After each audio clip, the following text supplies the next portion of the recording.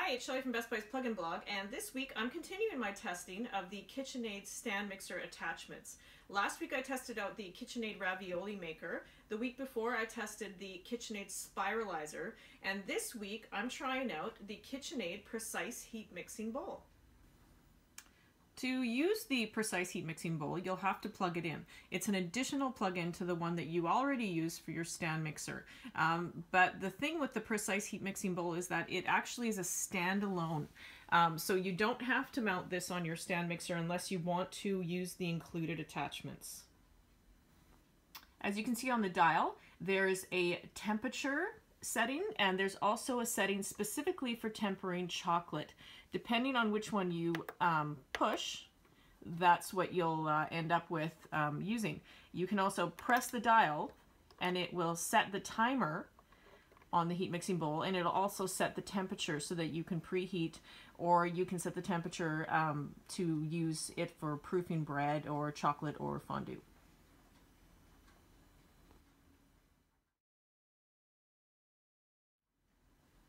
So I did a little digging online and I didn't see that many recipes online or videos sharing how to proof and rise bread in the precise heat mixing bowl. So I thought I would give that a try. I have some yeast, um, ginger, sugar, and a little bit of water. And what I'm going to do first, um, you can hear that it's beeping because it's set at the right temperature. Um, what I'm going to do first is um, add my yeast. If you could feel the bowl right now, you would feel that it's slightly warm. It's about 95 degrees. That's what I set it for.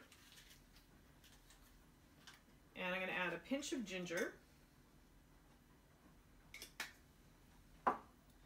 Some water. And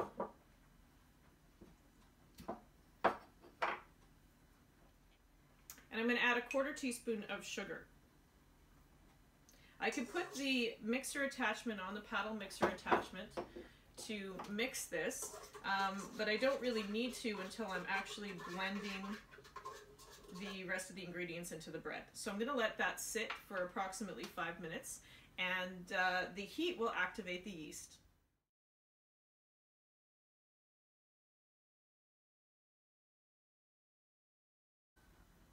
Okay, it's been about three minutes and my yeast is activated and it's ready for the other ingredients.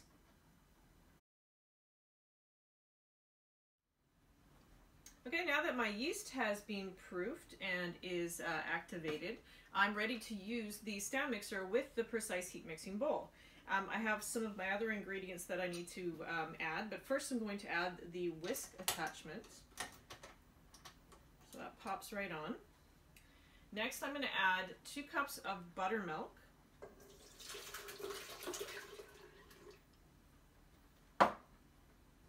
A third of a cup of honey.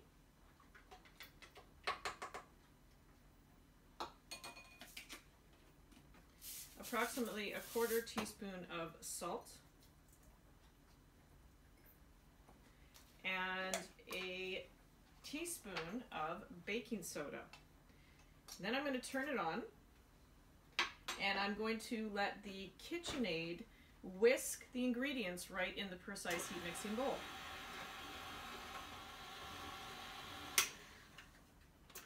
Once those ingredients are whisked together, I'm going to remove the whisk, put it over there, and I am going to add the dough mixer, the dough attachment, once that's clipped on, I'll take my bread flour and I will add three cups of bread flour right now.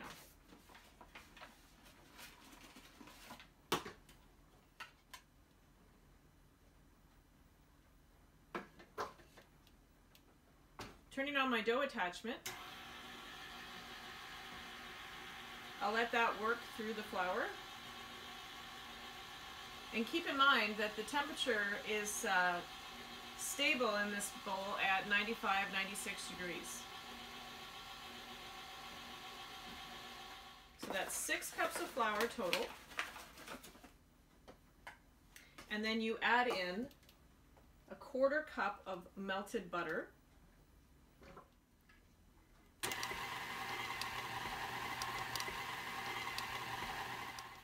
So I have run it through the dough hook and as you can see I've got a nice sticky bread dough. And what I'm going to do now, um, as it's preheating, is make sure that the um, dough is uniform in the bowl. And it's pretty sticky right now, but that's usually what happens with bread dough before it rises. And I'm going to pop the lid on and I'm going to let it rise.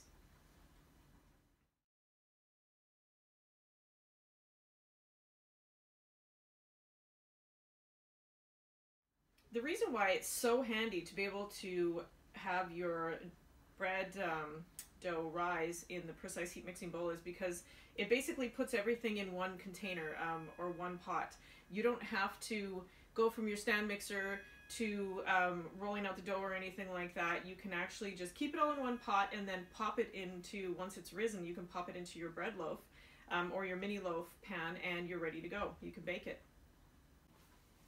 Okay, so we're back after half an hour and I'm going to check on my bread loaf and see how much it's risen. Oh, wow. And you can see that it has doubled in size in only a half an hour.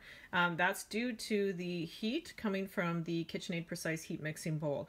Normally in my kitchen, um, if I were to put a loaf of bread onto the counter, it would take two hours to rise to this level. Um, and I could do it in the oven, but then um, I have to use one more appliance. The KitchenAid Precise Heat Mixing Bowl actually does the job of many appliances all in one. Cleaning up the KitchenAid Precise Heat Mixing Bowl is really easy. All you have to do is pop it in your dishwasher. The inner compartment and the lid can are dishwasher safe, as are the attachments that come with the heat mixing bowl. The actual mixing bowl you can just wipe down with a warm cloth and it's ready to go again. And as you can see, my honey bread turned out great. This is just a tiny slice um, but it just goes to show how easy it is to bake bread with the KitchenAid Precise Heat Mixing Bowl. For my full review of the KitchenAid Precise Heat Mixing Bowl, please visit Best Buy's blog. Thanks for watching!